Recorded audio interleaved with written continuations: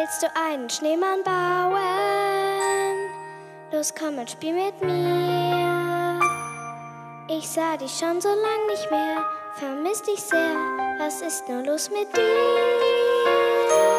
Wir waren wie Pech und Schwefel, doch jetzt nicht mehr.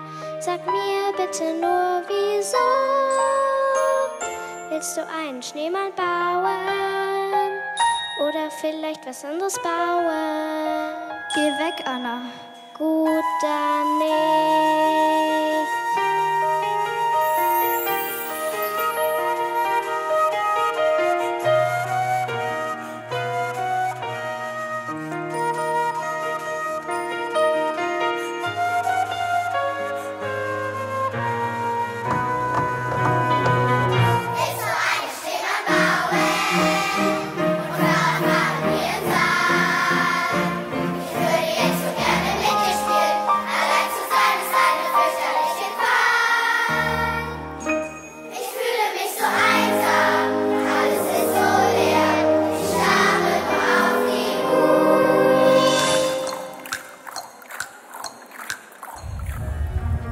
mit diesem Schneemann auf sich? Das verstehe ich nicht. Es gibt einen Film, der heißt Die Eiskönigin. In diesem Film bauen Anna und Elsa einen Schneemann. Er heißt Olaf. Er ist immer gut gelaunt, lacht viel und ist witzig. Das klingt nach einem richtig guten Freund. Oh ja, das ist er. Und weißt du, was ich mir für diese Weihnachtszeit vorgenommen habe? Was denn? Hast du dir das von Olaf abgeguckt? Genau, Olaf denkt immer positiv und steckt andere mit seiner guten Laune an. Olaf ist immer für Anna und Elsa aus, aus dem Film da. Ich glaube, das nehme ich mir für diese Weihnachtszeit auch vor. Ein guter Freund zu sein und positiv zu denken.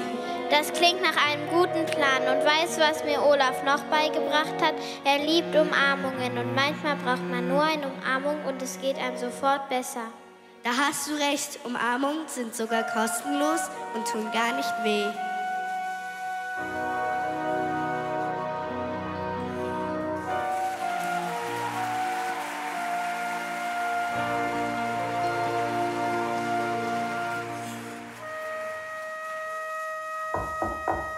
Elsa, bitte rede mit mir.